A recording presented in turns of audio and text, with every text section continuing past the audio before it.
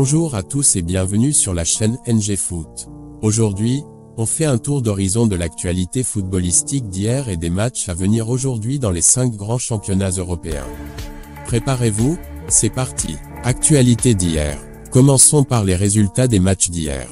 En Ligue 1, en France, Lille a confirmé sa bonne forme avec un solide match nul à domicile face à Lyon, qui peine toujours à trouver son rythme.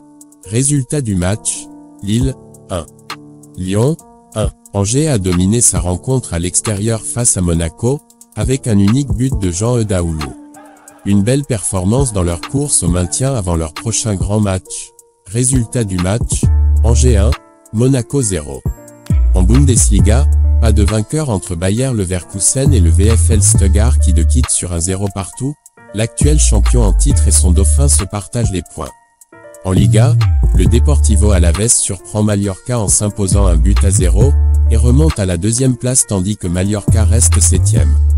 En Arabie Saoudite, Al Nasser de Cristiano Ronaldo avait l'occasion de battre son éternel rival de Al Hilal, mais les deux équipes se séparent sur un nul, un but partout, et Al Nasser monte troisième.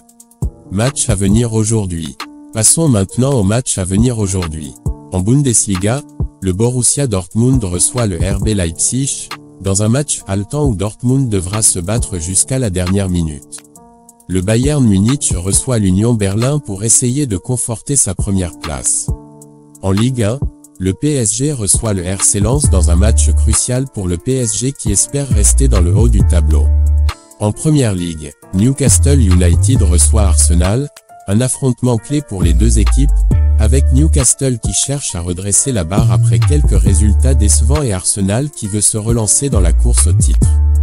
Liverpool reçoit Breton, pour confirmer sa première place tandis que Bournemouth reçoit Manchester City à domicile.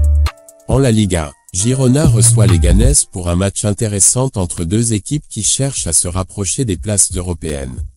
En Serie A, l'Udinese reçoit la Juventus, un derby italien prometteur qui pourrait avoir des conséquences sur la course au top 4.